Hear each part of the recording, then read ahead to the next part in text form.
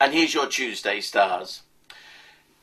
The money uh, aspects are very powerful here today. And yesterday I told you to concentrate on money and cash and really get in there. It was an intense but good day.